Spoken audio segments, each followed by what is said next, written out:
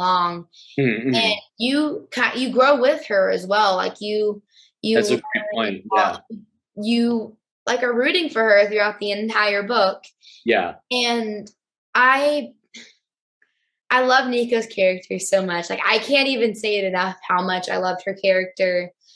And it was I also love her love for music. I'm a I Hmm. love Nirvana. I love Smashing Pumpkins. Awesome. And while I was reading the book, I noticed that each chapter Mhm. each chapter starts with a song. So chapter 8 is Daughter by Pearl Jam. yes, mhm. Um, and as I was reading the book, I was listening to the songs as I read it. And it's really cool how each uh, song ties in with the chapter.